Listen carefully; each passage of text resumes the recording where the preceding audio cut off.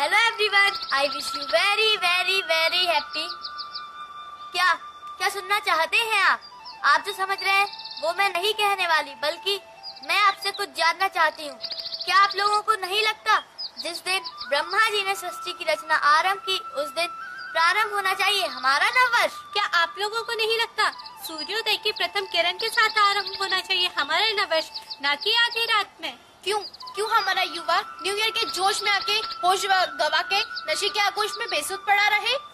हमारी भारतीय संस्कृति के अनुसार प्रत्येक चैत मास की शुक्ल पक्ष की प्रथम तिथि को आरंभ होता है भारतीय नववर्ष। सम्राट विक्रमादित्य ने भी इसी दिन अपना अखंड राज्य स्थापित किया था। पाँच हज़ार एक सौ बारह वर्ष पूर्व युधिष्ठिर का राज्य अभिषेक भी इसी दिन हुआ था। लंका विजय के बाद प्रभु श्री राम ने भी राज्य अभिषेक हेतु इसी दिन को चुना।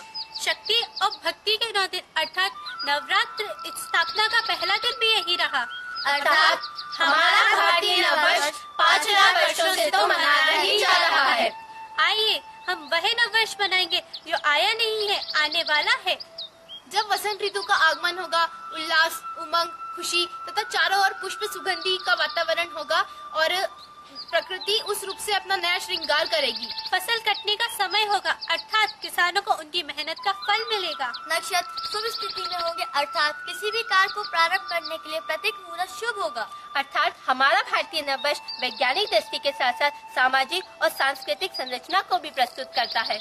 अतः हमारा आपसे अनुरोध है कि आप नव संवत्सर मनाएँ।